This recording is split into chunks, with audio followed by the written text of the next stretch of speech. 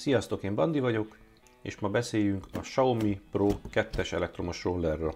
Ez a kis Xiaomi roller, ez egy kompakt kis cucc, nem egy új keletű dolog. Az egyes szériájából nekem volt kettő, belevertem kb. 6000 kilométert, a második még mindig megvan, most éppen a feleségem gyilkolja, napi szinten legalább 10 kilométert ő is belecsap, persze az már föl lett extrázva, extra akú, széles taposó, mindenféle kutyafülével.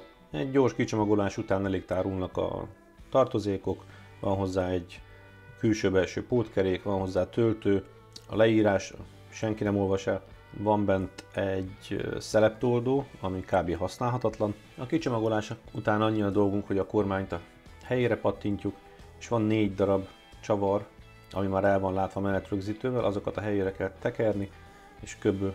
ennyi a gyors összeszerelés. Azért néhány dolgot még érdemes megcsinálni rajta.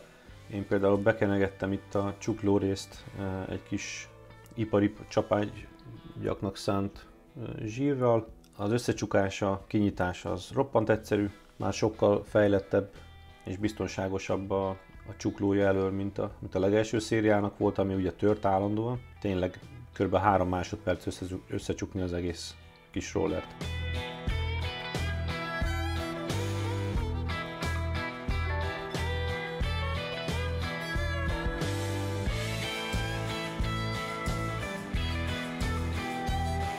Első alkalomkor érdemes feltölteni, és nagyon fontos, hogy aktiváljátok, van hozzá egy smart applikáció, a Mi Home nevezetű kis appot le kell tölteni, ott aktiválni kell a, egy regisztráció után aktiválni kell a rollert. Hogyha a roller töltőn van, akkor mutatja éppen a töltöttségi szintet. Hát amit még érdemes megnézni, az, hogy a, a guminyomás megfelelő legyen, az nagyon fontos. A gyári érték az 50 és 60 PSI között adják meg, amilyen 3,5 és 4,2 bár én azt mondom, hogy nyomjátok nyugodtan 4,2-re, 4,3-ra, mikor leveszed a pumpát egy pici sziszenéssel úgyis kijön egy kis levegő, és akkor megmarad benne a megfelelő mennyiség. Ez azért nagyon fontos, mert sajnos előfordult legalábbis a korábbi modelleknél, hogy a külső el tudott picit csúszkálni a belsőn, és kidörzsölt a, tehát saját magának csinál defektet. Na most az senkinek nem jó. Aztán még a féket érdemes beállítani, az is roppant egyszerű, kell hozzá egy imbus kulcs, kilazítasz három csavart, beállítod úgy, hogy ne cincogjon. Sajnos lehet, hogy cincogni fog egy darabig, ugyanis legtöbbször egy picit ferdék a tárcsák, a gyári tárcsák, de úgy gondolom, hogy erre a típusú rollerre nem érdemes nagyon belefetszölni. Valaki hülyére tuningolta már, vett rá mindenféle félhídrajuk cuccokat, fékeket. Előbb-utóbb elfogy, elfogyik belőle az olaj, és kb. forintot nem ér.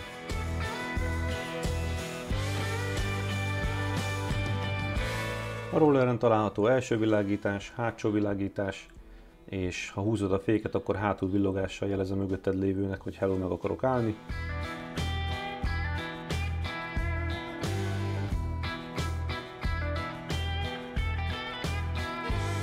Van rajta egy viszonylag hangos csengő, bár én a légkürtnél maradok, az nekem bevált egy korábbi videómba, azt meg tudjátok hallgatni, hogy milyen szépen szól. Aztán vannak érdekes kis kiegészítők, ilyen 3D nyomtatott cuccok, például a kormány markolata túl közel tud csusszanni a gázkarhoz, és volt már olyan probléma egy-két felhasználónál, hogy beragadt a gáz. Ez nem beragadt a gáz, hanem igazából a markolat megszorította és úgy maradt, és az elég kellemetlen tud lenni, amikor nem tudsz megállni vele. Ilyen 500 forintért lehet venni ilyen 3D nyomtatott cuccokat, vagy ha van otthon nyomtatod, akkor megoldod magadnak. Azt fölteszed rá, és mindjárt 4 centivel szélesebb lesz a kormányod, ezáltal egy picivel stabilabb is lesz a fogás. Aztán lehet kapni még hozzá ilyen kijelzővédőnek csúfolt valamit. Ez azért jó, mert ha esik az eső, akkor nem közvetlen kapja a vizet a kijelző. Valamennyire vízállóak, cseppállóak ezek a rollerek, de nyilván a szakadó esőt azért nem bírják. Na a keréknyomásról még annyit, hogy nekem van egy, egy Lidl-ös állópumpám, valami 2300 forintért vettem.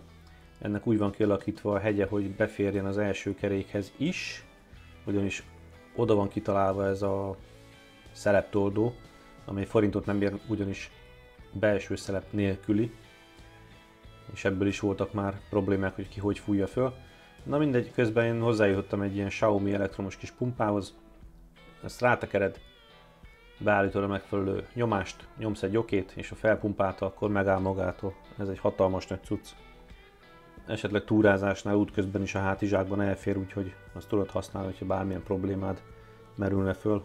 Aztán ha ezek a alapbeállításokkal megvagy, akkor lehet menni csapatni.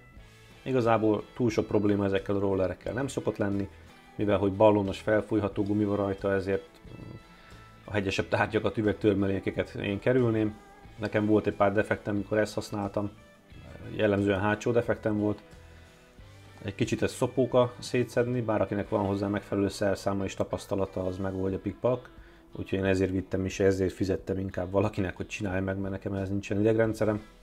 A mostani Kabu Mantis rollermet szerencsére sokkal könnyebb szervizelni, szerelni a gumiát.